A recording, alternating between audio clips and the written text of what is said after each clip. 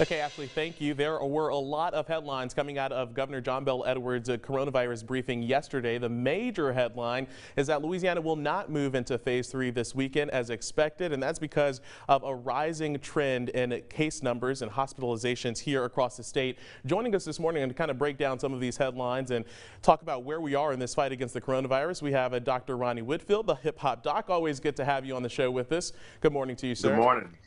Thank you. I'm doing great. Absolutely. Good morning to you too. We want to start with this uh, uh, another fact that came out of that news briefing yesterday. For the first time since March, the age group that has the most number of cases in Louisiana is our, our younger age group, ages 18 to 29. We've also heard that that age group doesn't necessarily need to be hospitalized or they can really handle this virus uh, themselves. So what is the concern with this age group now being the prevalent number of cases?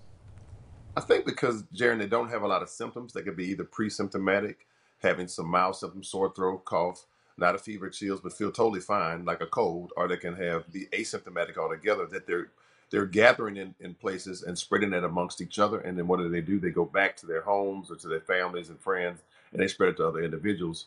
Who again, we talked about incubation period a long time ago. A long time ago, we don't even know the actual true incubation period. We thought it was two to fourteen days. It could be a lot longer than that. So these young people are infected with the virus and they have no symptoms. They spread to other folks, and so now we're seeing rises in numbers, and and unfortunately, we are seeing a few uh, increase in hospitalizations across the state, and that's a little scary because the worst thing that we want is to have another total shutdown to slow our economy.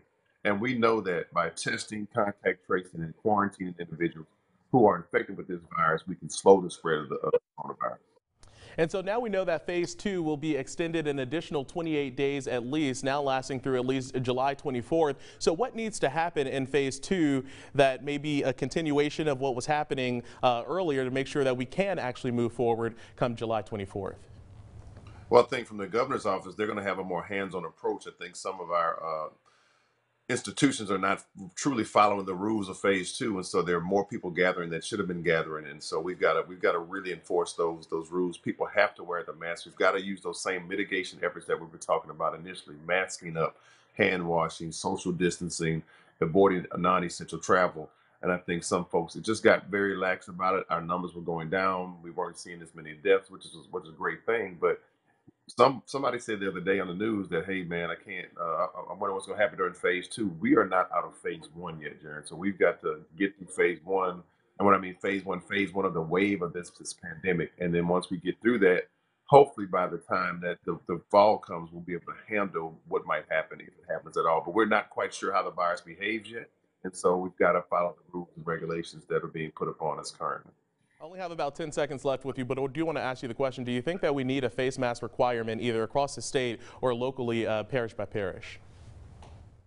Uh, I, I, I, wear face masks. I think that face masks should be mandatory in certain settings. I do see people wearing face masks in their cars by themselves when they're out walking, when they're not close to anyone.